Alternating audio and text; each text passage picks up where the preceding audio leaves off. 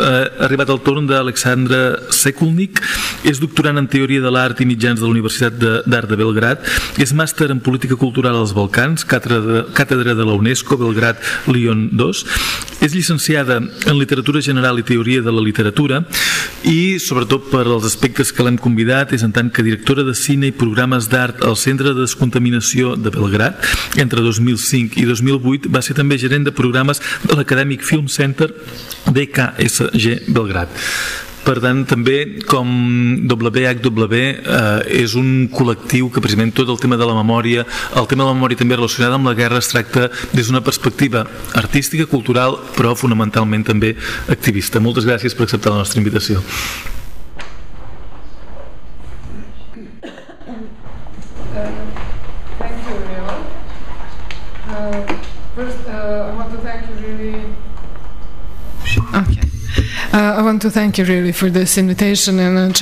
Gracias por esta invitación y la posibilidad de participar en este seminario. Siempre me sorprende hasta qué punto aprendo sobre la escena, las actividades y la producción en mi propia región, en seminarios en el extranjero. Y esto también es una gran oportunidad para aprender para mí. Gracias.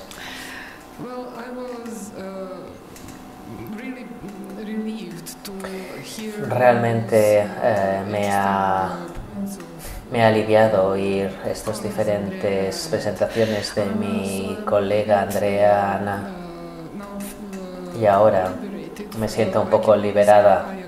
Puedo, solo, puedo decir tan solo estoy de acuerdo con vosotros y quizás extenderme en diferentes direcciones. Cuando leí cómo habías estado articulando el foco de este seminario, eh, pensé que podíamos hacer un poco de performance en estos eh, tiempos de memorización y donde se lidia con la memoria cultural, de nuevo para trazar algunas líneas que tienen que ver con aspectos que no se han conectado tanto en los intentos de utilizar los recursos de la ex Yugoslavia en el ámbito cultural y, en el espacio público. Así que estudios de la memoria que serían eh, la constitución del ser mediante la escritura autobiográfica y creo que esta novela iniciática que ha marcado a la generación a la que pertenezco principalmente, está marcada por estos dos marcos que van cambiando la manera en la que lidiamos con la ex Yugoslavia, el aspecto más obvio es que hoy en día cuando veo esta imagen de las protestas del año pasado delante de una exposición en el Museo de Historia de Serbia que se llama En nombre del pueblo, que se centraba en los crímenes comunistas y en estos es en este lado oscuro de Yugoslavia. Desde el punto de vista del 2016, este revisionismo histórico ha alcanzado su punto álgido en la ex Yugoslavia, ha pasado por instituciones donde se rehabilita colaboracionistas de la Segunda Guerra Mundial y se les ha devuelto su propiedad, ah, sus propiedades o las ah, manifestaciones fascistas junto con tácticas de movilización fascistas en Europa. Parece un poco obsoleto hablar de este tema porque hemos llegado al final de esta transición 55 billones de euros han desaparecido de Serbia y también de Croacia y de Bosnia, mientras que la sociedad ha sido instruida para reconocer y eh, vencer a enemigos, eh, encontrar nuevos valores, patriotismo, eficientes modelos de privatización, integrarse en la eh, Unión Europea y superar sistemas eh, ineficientes y vagos de la administración comunista. Así que vemos como la educación, sanidad y espacio público poco a poco van desapareciendo hacia la misma eh, ámbito donde está desapareciendo el pasado del régimen comunista. Así que hay esta imagen donde varios activistas de izquierda están ah, protestando en una exposición cuya ah, metodología historiográfica fue escandalosa para ilustrar crímenes, para eh, denunciar el, trato de los eh, refugiados del 46. Utilizaron fotografías de Dachau. Se trata de una intrusión tan vulgar de este programa de defamación sistemática de la Yugoslavia sin tener en cuenta ningunos parámetros historiográficos o científicos. Eso es una señal de cómo hemos llegado a finalmente una especie de alivio acerca de cómo lidiar con la memoria yugoslavia que puede ser muy subversiva si es reactivada mediante aspectos que están faltando en nuestra sociedad hoy en día. El otro marco que lidia con Yugoslavia es la comodificación, la zombificación, podríamos decir, acerca de los eh, significados que nos dan los estudios de arqueología de los medios para aquellos que recuerdan eh, Yugoslavia. Estas, eh, estos zapatos se diseñaron para mujeres trabajadoras, se llaman Borosana, y evocaban un largo proceso de emancipación de las mujeres en Yugoslavia que fue iniciado por los antifascistas y también por las eh, mujeres en la Segunda Guerra Mundial. Continuaron más o menos utilizándolas, pero hoy en día han revivido.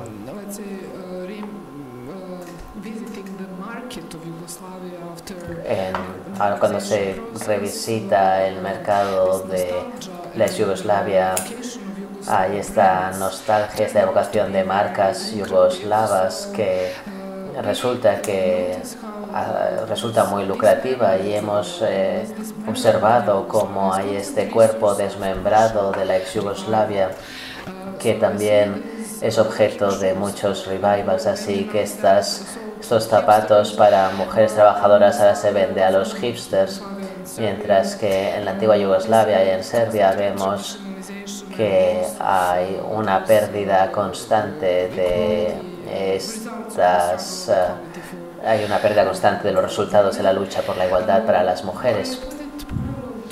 Las pongo al lado de una exposición sobre la Yugoslavia que tuvo lugar en el Museo de la Historia de Yugoslavia. Vimos una exposición que tuvo lugar allí en el 2009 y que también tiene que ver con nuestras propias prácticas, pero esta exposición es una de las metodologías similares. Visitantes que vuelven de la diáspora para visitar a sus familias y estas visitas al país, a un país que no existe, tiene que ver, lleva una variedad de proyectos que van desde películas a objetos de arte y también a este turismo cultural y estas manifestaciones más amplias de la exotización. Y también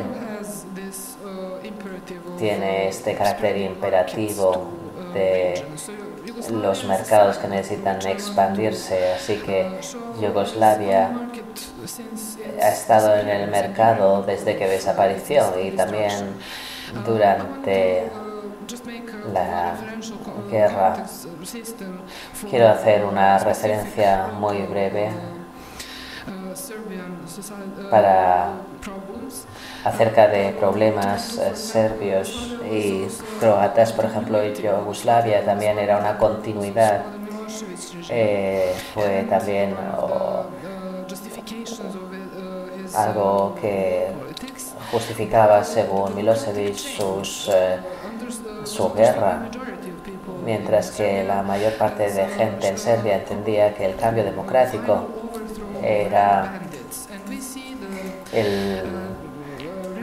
el gesto para deshacerse finalmente de los rojos. Si vemos por el 97 la estrella roja de la ciudad eh, de Belgrado desaparece de la asamblea. Aquí tenéis a un político fue asesinado más tarde en el 2003 y mientras que se celebraban las ceremonias para eh, de destrucción del comunismo en toda Europa del Este, nadie dañó esta estrella. Oí de mi colega que estuvo en esta ceremonia, me dijo que Solzhenitsyn, que estaba, que era un marxista y que era miembro de la generación del 68, dijo que esto ahora pertenece al museo, así que había un cierto respeto y no tanto una celebración obvia.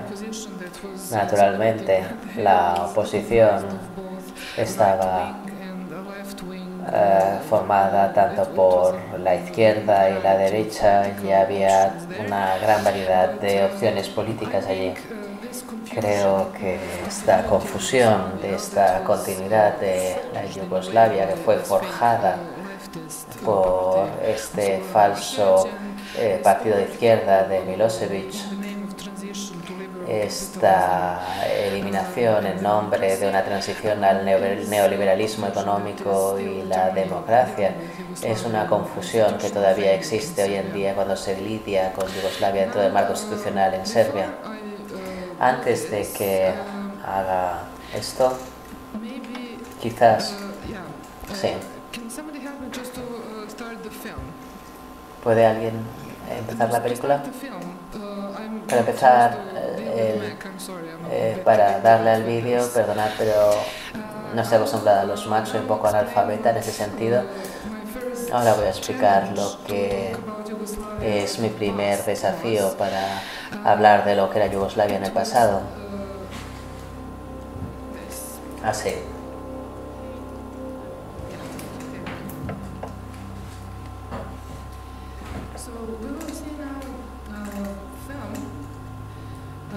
Ahora veremos una película que se hizo en los años 70 sobre la construcción de la primera estación eh, espacial de la Yugoslavia. La estación se construyó con esta eh, proyección de las comunicaciones futuras. En la película,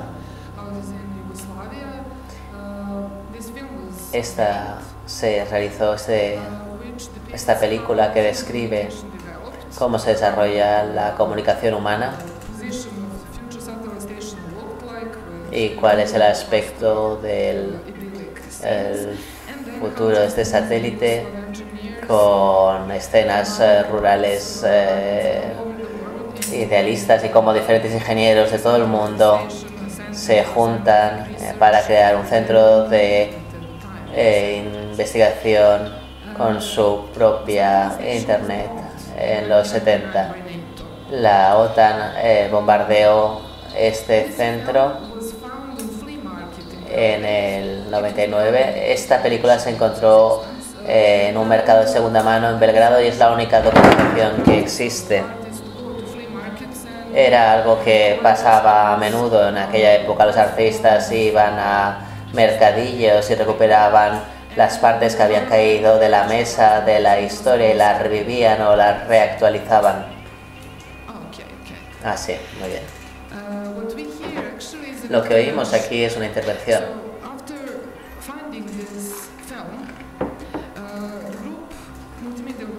Después de encontrar este vídeo, el grupo Cosmoplotzi mostró este vídeo por primera vez, eh, hizo primera vez una, un pase de películas perdidas en una galería y decidieron grabarlo también desde el otro lado de la pantalla porque ahora estamos más allá del año 2000, hemos pasado los límites del futuro que se imaginaba en, este, en esta película, un futuro que fracasó. Se grabó desde el otro lado de la pantalla, por eso hay una inversión de la imagen. La única intervención es la música, respetaron la película y solo añadieron la música. Cosmoplopsy escogió este nombre para su grupo porque hay una revista que se llama Cosmoplov de Yugoslavia que promovía a los cosmonautas y aquí veis el tipo de comunicación que tenían antes de la estación espacial que se quiere construir. Cosmoplovsi lidiaba con imágenes del futuro del pasado, lidiaban con estos horizontes, con estos horizontes que estaban abiertos. ¿Cómo lo llaman? Este optimismo científico y tecnológico, el estatus de la ciencia en la antigua Yugoslavia y la ciencia popular que era, estaba disponible y que era accesible para la juventud yugoslava. Había el manifiesto Cosmoplov, el universo no le pertenece a ninguna nación. Pronto los yugoslavos también participarán en la conquista del espacio y deberíamos prepararnos. Y esta revista tenía noticias de la NASA, de Moscú, de los diferentes eh, agencias espaciales, aunque nosotros no teníamos una. Así que nos daban información por si en algún momento nos daba la oportunidad de participar en la conquista del espacio. Ahora voy a hacer algo malo y voy a saltar aquí porque es algo muy largo. Muy bien. Esta película se mostró dos veces en, el acontecimiento internacional de Bellas Artes más importante de Belgrado. La primera vez que se mostró, la gente se pensaba que había algún tipo de tecnofetichismo y nadie entendía qué es lo que ocurría.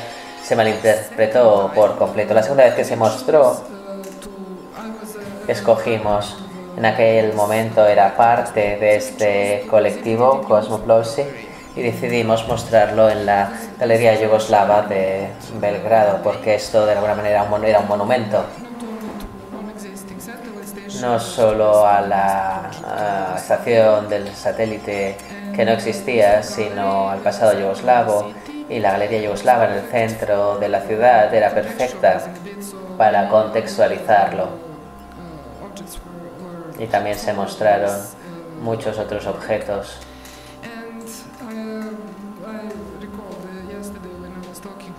Y debo decir que ayer estaba hablando a varios colegas e incluso entonces no era algo visible porque esta galería estaba eh, gestionada por un becario y le daba miedo activar el proyector. Y cuando alguien visitaba la galería solo había una pared blanca porque el becario tenía miedo de que se pudiese romper algo y había solo un poco de información contextual respecto a esta estación que existía, no existía, que existía en la película pero que no existía en el espacio de la galería. Así que esta mezcla de existencia y de falta de existencia de la estación del satélite tenía que ver con la capacidad de una galería yugoslava de utilizar sus propios recursos para recordar. Esta anécdota de alguna manera es una introducción acerca de esta incapacidad de la infraestructura cultural que en mi experiencia es muy variada pero de alguna manera fue una anticipación interesante. Antes de que terminemos, sí.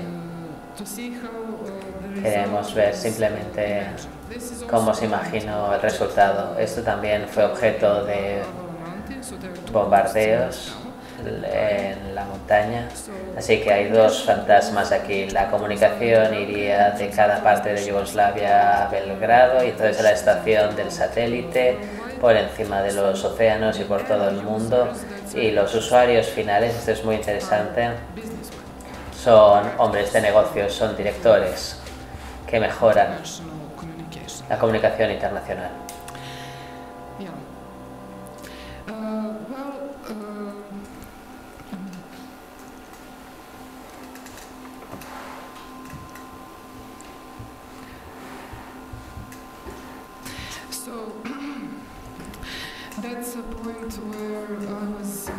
Este es el punto en que Sí. Aquí fue donde por la primera vez me sentí desafiada para presentar el pasado. Hasta entonces creo que el contexto más relevante de Cosmoplos, sí, gracias.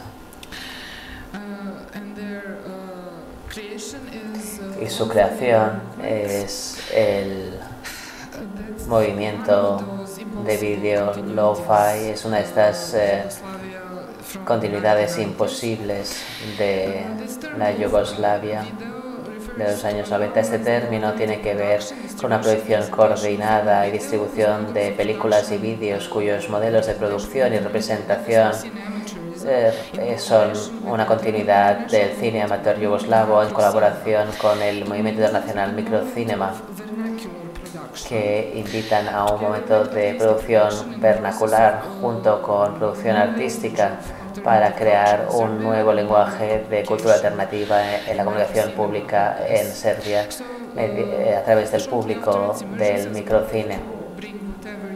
Se hizo una convocatoria abierta sin selección.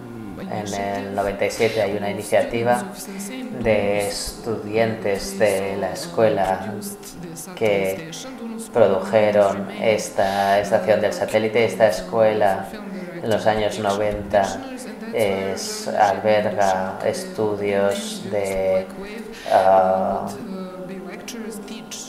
una escuela de cine y ahí es donde dan clase todos los eh, creadores míticos de cine experimental de la ex Yugoslavia, porque en los 90 era casi imposible pensar acerca del cine, teniendo en cuenta cómo la, infraestructura del cine se estaba hundiendo y con lo caro que era hacer cine, con todos estos ejemplos de eh, cineclubs autogestionados.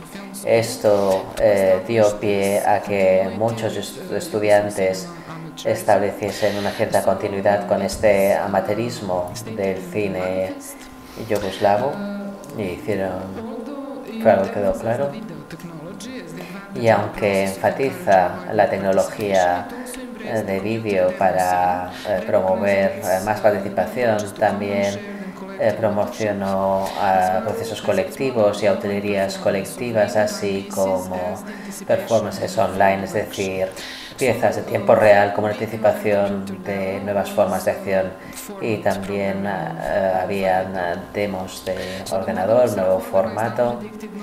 Y este nuevo sistema era de presupuesto bajo y no institucional como respuesta a una cultura cada vez más predecible. Y se dijo que la inspiración para este movimiento era el amateurismo en la Yugoslavia socialista definido por eh, Slivis eh, según su primer artículo sobre estas, eh, estas formas y dicen que es una práctica revolucionaria que tiene como objetivo eliminar la clase social y, eh, y sobrepasar el público que tan solo consume de forma pasiva la producción artística.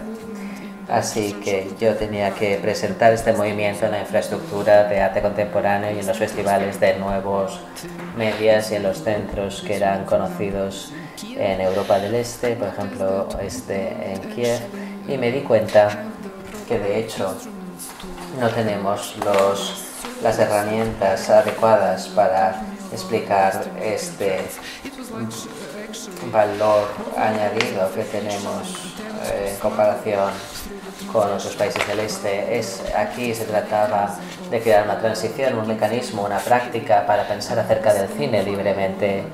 Este lo-fi, eh, este movimiento lo-fi, esta autorganización es algo que tiene una tradición en la cultura cinematográfica y en estas ocasiones normalmente se exotizaba la Europa del Este, había este proceso eh, constante de crear el este proposición al oeste y para mí, eh, para explicar este, este carácter idiosincrático, bueno, también había un entusiasmo cultural que está muy explicado en el trabajo de Nils Cummings acerca del trabajo amateur con el cine polaco, pero solo recientemente hemos restablecido esta continuidad con lo que Aldo Milonis en su texto Amateurismo Radical llama amateurismo radical. Y según Aldo, el amateurismo radical describe la práctica amateur como parte de las prácticas de neovanguardia de los 70 y los 60, así como con la cultura alternativa de los 80 en la antigua Yugoslavia, y estos podrían entenderse precisamente por oposición a la supuesta profesionalidad de la élite cultural de la época y representa un movimiento que no eh, tiene la carga de los materiales que se utilizan en el trabajo, sino que que participa en intervenciones radicales e inmediatas eh, de las estructuras sociales. Así que en los años en que se trabajaba eh, para conseguir una continuidad con eh, el amateurismo cinematográfico, porque el lo-fi que también estaba relacionado con cómics alternativos, música y arte electrónico, la interdisciplinaridad del movimiento también evoca algunos de los problemas que el pensamiento interdisciplinario tenía y también eh, produjo cierta infraestructura alternativa en la ex Yugoslavia, así que de alguna manera también encontramos la manera de, marcar una cierta continuidad con este amateurismo radical y ahora podemos preguntarnos qué significa radical en relación con esta producción cultural. El amateurismo no es algo que no se conozca, pero el amateurismo radical sería la decisión que se hace de salirse del ámbito académico o de las galerías o del ámbito de las infraestructuras del cine y funcionar en este ámbito desde fuera. Así que el gesto radical sería la autoexclusión y encontrar algún modo de producción paralelo para el amateurismo es divertido porque era una prioridad de la cultura socialista, pero pronto se convirtió en algo marginalizado de manera paradójica. Esa marginalización, esa periferización de los, eh, del cine permitió a muchas generaciones experimentar, pues en la periferia de esta cinematografía, de esta cinematografía central, a pesar de que no cumplían el principal objetivo del amateurismo en relación a las políticas educativas de la antigua ex Yugoslavia, también produjo algunos experimentos muy serios más tarde. Estoy muy contento de que Andrea hablase ayer antes de mí porque nos gusta realmente Santalmuf en relación con los espacios de arte post-yugoslavos queríamos ver cómo llamamos estas prácticas políticas, cómo las llamamos, cómo afectan las sociedades. Así que si nos centramos en nuestra querida Chantal Mouffe, se trata de mecanismos para reactivar y desestabilizar los elementos fijos de la sociedad para hacer visible lo que el consenso dominante tiende a oscurecer, es decir, eh, se pone en cuestión la contingencia radical de los elementos fijos y mediante los estéticos modelos, mediante los modelos estéticos desarrollados en la cinematografía experimental se destabilizan los elementos fijos en la cinematografía y en la cultura, eh, evolucionando desde una posición en la periferia al mostrar los elementos fijos en las identidades de la estructura de la Yugoslavia socialista, bueno, Aldo Milonis también habla de la profesionalización de la cultura en los años 70 en relación con la diplomacia cultural de la ex Yugoslavia, pero la relación entre el trabajo profesional y no profesional y su gesto radical puede ser observado como una interpelación en relación al aparato de producción. Y En relación a esto, con todos mis colegas de este movimiento, todos ellos continuaron en los años 2000 después de este, eh, de este punto álgido del low-fi video que de hecho se cerró en el 2003 para no traicionarlo más tarde en una comodificación más intensa y dentro del ámbito del marketing. Después los mecanismos y del aparato fílmico fue uno de los temas que queríamos transferir hacia el futuro.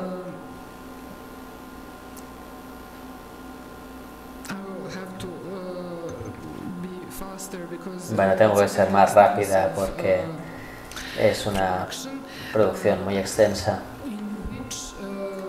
donde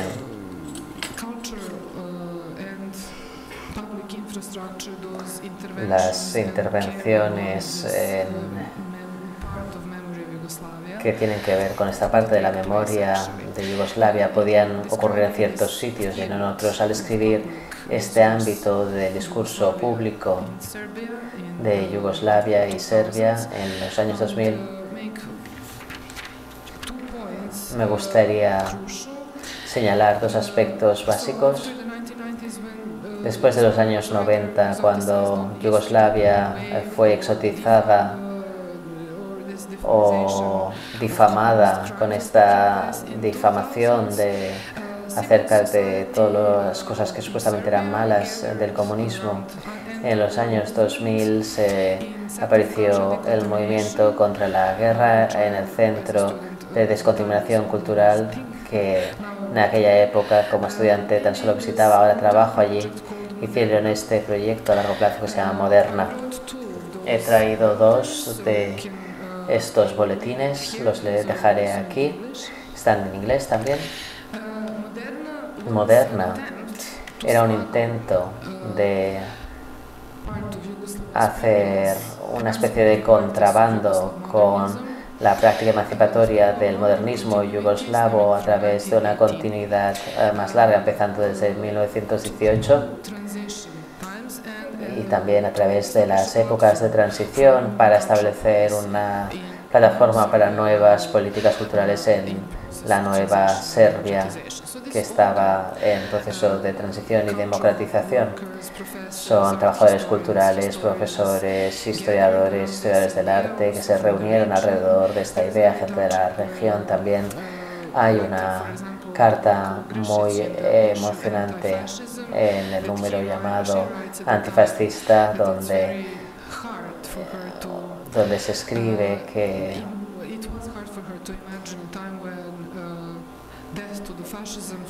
era difícil para ella imaginar que el lema um, muerte al fascismo, libertad para la gente, que no, ella pensaba que nunca se podía dar la vuelta a este lema para decir muerte al pueblo y libertad al fascismo. Y Serbia, bueno, en aquel momento Yugoslavia era como una especie de terreno baldío esperando su final o la invasión de algún por parte de algún contenido nuevo y parte de este proyecto moderno era una performance, una especie de batalla en algo que parecía un espacio vacío de Yugoslavia. Vaciado de eh, significación. Aquí en esta foto podéis ver al profesor eh, y al historiador Jostonovic este principio de Moderna en el 2001 que estaba ocurriendo en diferentes sitios, también en restaurantes en Belgrado, donde tenían lugar discusiones muy famosas acerca de el siglo XX, museos, centros culturales en la montaña de Avala, en Belgrado, durante dos años casi. Este conocimiento fue acumulado en una nueva proposición para autoridades democráticas ¿Qué pasa si no escogemos identidades nacionales? ¿Qué pasa si escogemos el modernismo como el fundamento para una política cultural del futuro? Fracaso, nunca se entendió. De hecho, era demasiado peligroso esta idea. En aquella época no lo entendía, pero ahora tiene sentido totalmente. Y volveremos a este tema más tarde. Hace dos años hicimos eh, una revisitación de Moderna con la ocasión de, bueno, de hecho provocado por el jubileo de la Primera Guerra Mundial en Europa, donde las historias, donde las eh, vanguardias históricas que tendrían que ver con las políticas emancipativas en la ex Yugoslavia Ahora estábamos viendo cómo se veían decontextualizadas y castradas de cualquier partido político en esta euforia militar de el 2014. Nosotros hicimos otra moderna 13 años más tarde. Invitamos a los mismos profesores que podéis ver aquí que discutieron con eh, jóvenes investigadores Y una de las cosas interesantes que hicieron fue organizar un juicio a Boris Groys por lo que había dicho. Así que Moderna es un recuerdo muy importante de Yugoslavia. Otro sería la exposición Prácticas Políticas de Arte Post-Yugoslavo que no incluí en mi presentación porque sabía que Ana estaba aquí y lo podía hacer mucho mejor que yo y cubre la primera década del año de los años 2000 mucho mejor. De nuevo fue en el Museo de Historia de Yugoslavia y mientras tanto creo que esta exposición probó esta lucha constante para encontrar una manera, un método, pero también una infraestructura eh, que pudiese lidiar críticamente con recursos para actualizar la memoria y las potencialidades de esta memoria. Para mí las prácticas deben ser tratadas como disparadores para activar nuestro potencial actual. Una de las instituciones eh, con la que he trabajado para revivir nociones de amateurismo radical fue el Centro Cultural de los Estudiantes de la Ciudad, que fue el resultado de las protestas de los estudiantes en el 68 en Belgrado. Después de la gran rebelión estudiantil y una gran batalla entre estudiantes y la policía cerca de la ciudad de los estudiantes, el campus estudiantil donde viven miles de estudiantes, Tito decidió digamos, articular esta historia diciendo que los estudiantes tienen derecho a sus actividades culturales porque la, la lucha principal tuvo que ver porque los estudiantes no podían acceder a un festival de música, a un festival cultural.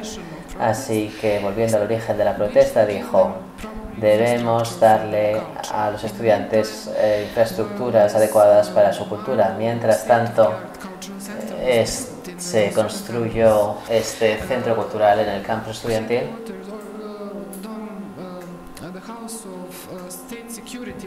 Y eh, la casa de seguridad se fue donada a los estudiantes y ahí fue donde se desarrollaron prácticas eh, por ejemplo, hubo Marina Abramovich, eh, trabajó allí, pero también hubo muchas otras personas que trabajaron allí. Esto era el centro cultural de los estudiantes, pero en mar, hecho con mármol, era muy elegante, una perla del modernismo yugoslavo. Ahora me acuerdo que en el 2006 tuvimos esta expedición eh, como de carretera perdida que fue iniciada por arquitectos y por grupos de artistas y terminó en la ciudad estudiantil y a la gente del tour realmente le puso la arquitectura del 66 con todos esos espacios de mármol. Lo que encontré allí es parte de, como parte del Centro Cultural, es un club de cine muy, acto, muy activo en los 60. Fue trasladado desde eh, el centro de la ciudad en los años 60 y fue llevado a la periferia de la ciudad en el campo estudiantil y se convirtió en un cine club académico. Hay muchas continuidades allí, pero hay tanto ruido en esa periferia que incluso para mí, como estudiante que vivía allí, que estudiaba allí en los 90, no sabía acerca de estas cosas.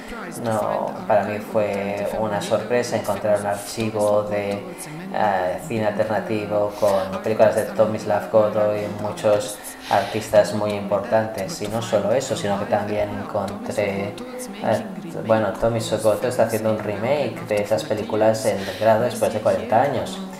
Aquí vemos un póster de este remake en el, en el 2006 se hizo un remake de la película eh, Línea, Círculo y Luz Azul en esa misma eh, localización 40 años después. Esa ha sido una de mis experiencias más eh, fuertes, redescubrir tu ciudad mediante este intento de organizar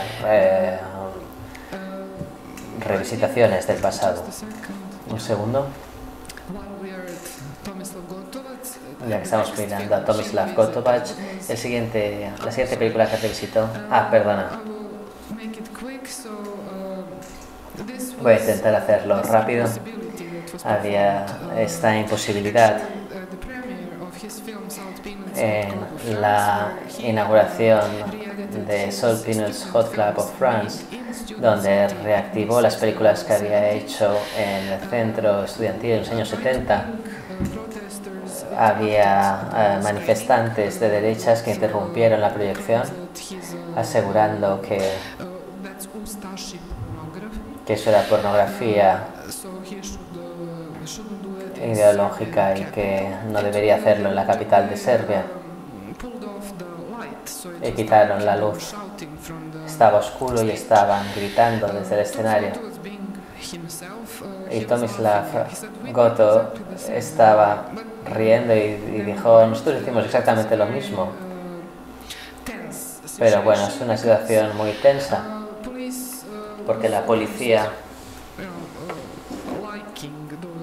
a la policía casi le gustaban esos jóvenes que estaban ahí y pusieron mucha presión eh, sobre nosotros como organizadores e intentaron interrumpir la inauguración y nosotros les paramos y la proyección continuó. Aquí vemos a Tonislav Goto, que con sus colaboradores y muchas de sus ideas más tarde tuvieron impacto en festivales alternativos de vídeo y en eh, otros proyectos en la ciudad estudiantil. Otro intento de examinar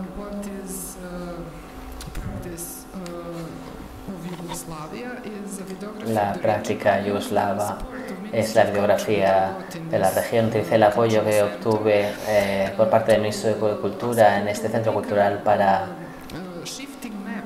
hacer un mapa cambiante de lo que se llama una región. Las eh, regiones eh, tienen una cierta relación con la antigua Yugoslavia, son mediterráneas o del este o de los Balcanes. Y cada región, eh, cada año definía una región de manera diferente, medida que van cambiando y luego me preguntaba qué es el vídeo, el vídeo te va cambiando, aquí podéis ver a Nasty Krishna con estudiantes de la ciudad estudiantil y Tomislav Goto insiste que él también quiere participar como estudiante, así que hay esta transferencia de sus experiencias de algún modo para las generaciones más jóvenes y Andrea Kunze, que también participó en este proyecto, también está definiendo otros problemas de la región. Finalmente, después de esta interrupción constante debido a organizaciones de derechas con nuestro programa, me di cuenta que de hecho la acción estudiantil fue el resultado de las protestas estudiantiles en el 2008. Todo el mundo estaba celebrando el aniversario de las protestas estudiantiles. Normalmente era una mezcla de turismo cultural, nostalgia y marketing. Pero viniendo de este sitio no podía estar en una posición poco clara. Así que eh, lidié con la definición de Burton de lo que es la culturalización.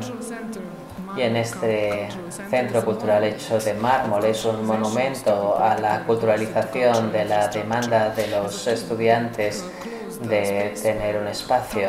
Es, una, eh, es un lugar donde miles de estudiantes podían juntarse y ahora reproduce programas de centros culturales de Belgrado. Así que hicimos una exposición de revistas estudiantiles y nos dimos cuenta que no hay una sola biblioteca o archivo que tenga todos los, todas las revistas de los 68 que determinaron en gran medida el futuro de la historia de Yugoslavia hay archivos personales bajo las camas, así que los recogimos y organizamos esta primera exposición y se conectó con la cultura popular de los 68. Creo que hasta ahora es mi única experiencia donde me he dado cuenta eh, que bueno, escribí un proyecto y luego vi los resultados y luego escuché a los estudiantes diciendo ¿y por qué no protestamos? Y me dije, oh, maravilloso, es lo que escribí en mi proyecto. Quiero animar a los estudiantes para que reflexionen sobre lo que está pasando en su sociedad. Así que este es mi proyecto milagro, o sea, algo ocurrió. Vieron lo que había ocurrido y se conectaron con colegas de la región y empezaron a coordinar una rebelión estudiantil. De nuevo vemos a Goto y otros artistas hablando de estas relaciones entre cultura y rebeliones estudiantiles. El proyecto de arqueología de medios es uno de los proyectos que igual podríamos presentar en otra ocasión, pero esta fue una iniciativa para examinar algunas partes y, algunas formas que muy específicas se utilizaron en la Yugoslavia. Eh, sobre el pasado regional de Yugoslavia, rock, eh, vídeos musicales, etc. Nosotros hacíamos investigación con nuestros colegas de la región y participamos en el proyecto de arte post-yugoslavo hablando sobre las prácticas eh, con medios de la juventud eh, yugoslava. Eh, también tratamos sobre todo con la televisión. Hablaré sobre todo de la historia del amateurismo cinematográfico que continúa en colaboración con Branka Benkic como parte de un gran festival y en aquella ocasión digitalizamos la revista EFE que no había sido accesible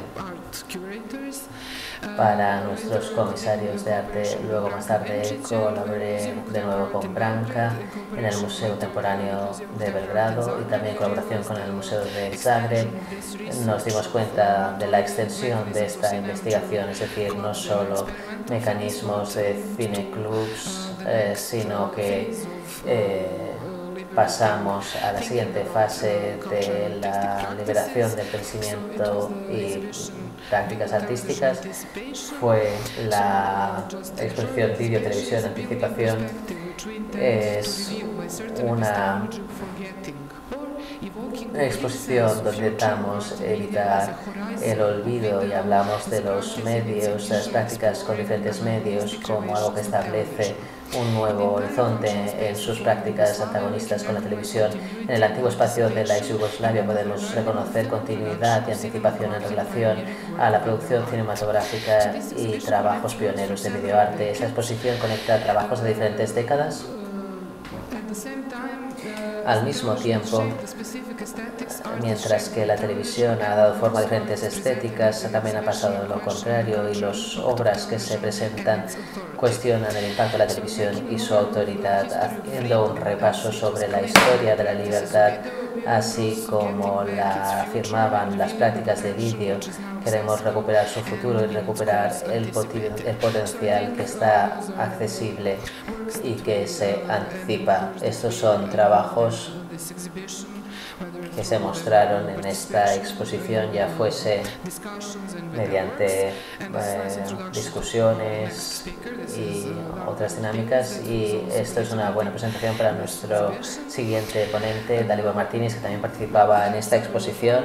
Había diferentes formatos y ya que hablamos del futuro esta fue una historia muy breve sobre la incapacidad de la infraestructura de la galería de utilizar eh, recursos para la historia de la Yugoslavia, es decir, eh, desarrollar herramientas útiles para pensar el pasado. Así que mi último ejemplo sería P-Shaping, donde reuní a mis colegas de la región, muchos artistas que eh, fueron educados al final de la experiencia yugoslava